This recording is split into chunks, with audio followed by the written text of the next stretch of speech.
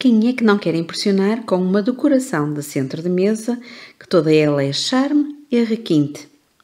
E se essa decoração for fácil, simples, rápida e barata? Acompanhe-me neste vídeo, não se vai arrepender. Olá, chamo-me Carla Souza e sou a cara e a voz por trás da Reinvented Heart. Acredito que todos nós conseguimos fazer coisas fantásticas a nível dos artesanatos em geral. Só temos de começar e treinar. Hoje vamos ver como fazer uma decoração de Páscoa simples, mas que pode ser adaptada a muitas mais situações, como vamos ver mais à frente. Comecei por pintar ovos. Queria um centro de mesa em branco e dourado para vos apresentar como fazer uma decoração de Páscoa simples.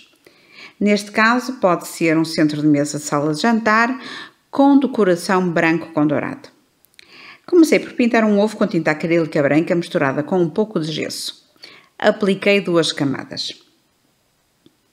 Talvez devido à situação que atravessamos a nível mundial, acredito que a época pede paz e nada melhor que branco e dourado como simbolismo. Por isso, juntei dois ovos pintados com tinta acrílica dourada de efeito. Como é bastante espessa, só precisou de uma camada. Depois decidi fazer meia kosudama, ou seja, metade de uma bola com recurso à técnica do origami. Vou trazer vídeos mais explicativos das técnicas usadas aqui, em especial o que significa uma Kusudama, que está aliada à saúde. Esta flor já está aqui no canal e basta unirmos seis flores iguais.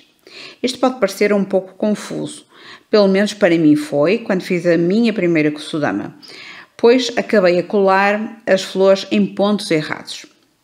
Assim, decidi fazer uns pontos a lápis na minha flor central. Depois, colamos uma segunda flor a uma das pétalas da nossa flor central. Voltamos a olhar para a nossa flor central, pois tem os pontos, e colamos uma terceira flor a uma pétala com um ponto. Depois unimos a segunda e a terceira flor uma à outra.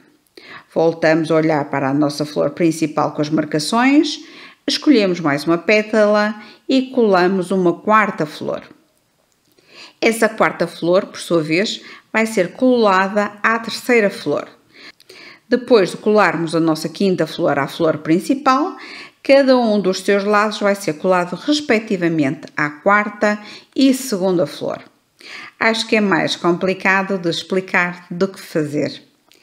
Os links para esta flor do origami, bem como das flores que vou usar de seguida, estão na descrição.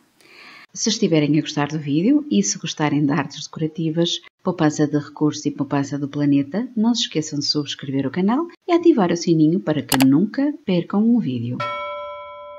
Depois é só montar o nosso centro de mesa de Páscoa. Como é uma decoração de Páscoa simples e barata, usei fitas que fui guardando de prendas. Usei uma dessas fitas para fazer flores, como as flores de tecido que fiz há pouco e também consta aqui do canal. Comecei por colocar a fita numa espécie de taça redonda, mas como é uma decoração de Páscoa para a mesa, poderia mesmo ser um prato. Acho que o tema branco e dourado dá um requinte muito especial às decorações. Coloquei um pouquinho de fita eh, cola transparente de dupla face para prender a cocedama à taça.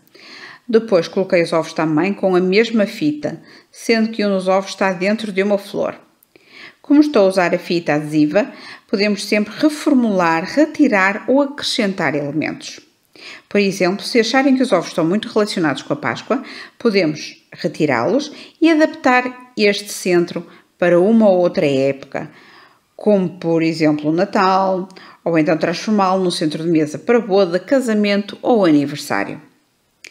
Depois, sem grandes preocupações, coloquei as flores restantes, tanto as flores em papel como as flores feitas com as fitas.